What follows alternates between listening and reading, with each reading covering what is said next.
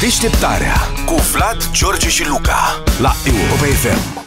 Să mai zicem de București, mai zicem de București. De ce s-a mai întâmplat în București? În afară de faptul că plouă de vreo două zile de nu mai știm de noi. Așa, da, așa. Uite, și cu ce Luca, de ce râzi? Am scris cineva și Brașovul. Deci în București, pasajul Unirii, știți pasajul Unirii? Ce s-a mai întâmplat? Pasajul Unirii, ăla a reabilitat vara asta de primăria sectorului 4 pentru 12 milioane de euro. Ăla, luminatul. M-am Ăla plimbat care- prin el, v-am zis, nu v-am zis. Am Și fost. ți-a plăcut? N-am dat de sus, ca sunt cu mașină mică, dar am remarcat, băi, deci pe toți pereții, și slavă cerului, are pereți mulți, că sunt uh, Practic, panouri așa, patru, da. E plin de sigla sectorului 4. Mă. Păi deci da, chestia mă. asta mi se pare că nu o să scăpăm de ea niciodată. Știi cu aia, că înainte erau ctitorite parcurile. Acest Da. parc a fost curățat Da. și renovat de primăria sectorului X. Uh-huh. Urma erau alea cu domnul primar Nicolae Onțanu. Uh-huh. A făcut această fântână cu mâinile lui. Mai sunt uh, de astea pe autostradă. Această autostradă a fost făcută de Ministerul Transporturilor, de parcă ar putea fi făcută de Ministerul Desenelor Animate. Adică, în străinătate n-am remarcat cel. Poate sunt și acolo și noi, turiști fiind, avem ochi pentru așa ceva, dar n-am remarcat nicăieri. Tu ai remarcat, Vlad sau tu, George, ați văzut vreun undeva asta de asta e. cu Nu.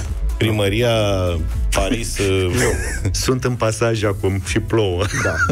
Păi asta e, Zice deci cineva. panourile alea de care vorbește Luca cu primăria sectorului 4 sunt cu autospălare. Pentru că după trei luni de secetă în București a venit și prima ploaie mai serioasă, iar în, în, în, în pasaj, în, în interiorul pasaj. pasajului, plouă. Deci plouă din sau prin sau nu-mi dau seama acum, plafonul ăla nou, ăla cu becuri. Plouă printre becurile alea, plafonul ăla care a determinat și micșorarea pasajului altfel și plouă în sensul că toarnă pe alocuri, că pic, pic sau nu știu ce, sau se scurge. Frate, plouă, sunt ca țeava sparte. Ca țeava sparte, eu zi- cred că dacă... Adică am și o soluție pentru primăria sectorului 4. Ah. Luați un pix, notați, șampon. Dacă puneți șampon în piața Unirii... Vă fac spălătoria. Spălătorie tunel, cea mai lungă bravo. spălătorie Faceți și interioare? da, fără atingere, practic, spălătorie tunel, măcar să aibă o utilitate. Și contactați de Libertatea, reprezentanții primăriei sectorului 4 au spus, citați uh, de ziarul mai sus menționat, au spus că problema a apărut din cauza unei avarii la unul dintre canivouri. Acele structuri din beton, un fel de casete care protejează conductele de apă și alte sisteme de utilități. A fost o acumulare de apă, însă problema a fost remediată. În momentul în care vor începe lucrările la planșeu, ele vor fi înlocuite cu unele noi, ca să nu mai existe niciun risc. Au Deci nu declarat e vina nimănui, reprezentanții. practic. Acum se va lucra și la planșeu, deci până acum ce au făcut, nu înțeleg. Auzi, dar nu mai bine dau ei acolo și sapă și fac tunel să se vadă și cerul Da. și Să fie s-a un pasaj terminat. deschis. Un pasaj deschis? Practic ca un șanț. Da. Dacă ar putea să fie. Dar eu, asta, nu Mie mi se pare că uh, pasajul ăsta, Da. uh, Bă, reparația, mergea nu bine. pasajul. Mergea bine. Da, reparația pasajului arată exact cât de tari suntem noi în ultimii 10, 15, 20, 30 De ce de să ani. repare dacă nu e stricat, suntem. știi? Păi nu, a, adevărul că arăta groaznic. Probabil că trebuia re- reabilitat. Acum Arăta nu-mi dau groaznic. seama. Probleme de siguranță a fost făcut acum- Renovat trebuia, da. Da. Da, trebuia renovat. Ok, l-au În renovat. sensul de zugrăvit. L-au reparat de Da, da, mă, o da. frântă că ți-am dres-o. Niște oameni au făcut un pasaj uh-huh. și l-au făcut repede, înțeleg, atunci. Da. Și niște băieți trebuiau să vină să dea cu bidineaua, știi, și să-l refacă.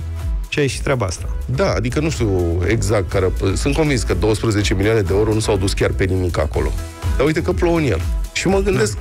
Nu are domnul primar de la sectorul 4 dânsul dacă își cumpără, nu că și-ar cumpăra, că cred că nu... Nu crezi că își cumpăra Da, așa? dacă și-ar cumpăra, punem cazul. Uh-huh. Și cumpără și dânsul o casă nouă, un apartament. Da, și modest plouă. undeva. Dă banii, se mută acolo, un apartament nou, plouă în el. Sună la... Domnule, plouă. Da, nu e nicio problemă, este de la canivou, nu știu ce, dar uh, problema... A fost o acumulare, o extorsiune, da. dacă mă înțelegi, Da, da, da, da, da, da. o acumulare de apă și se remediază. Când vom repara planșeu, nu o să mai fie nicio problemă. Da. Problema Așa e că faci? noi, noi nu conștientizăm că ăștia sunt banii noștri, știi? Nici Da, din primăria păcate, care da. a reabilitat uh, Da, uh, da, primăria pasajul. conștientizează că nu sunt banii ei. Că sunt Uh, banii poate noștri. așa, poate așa. Deșteptarea cu Vlad, George și Luca la Europa FM.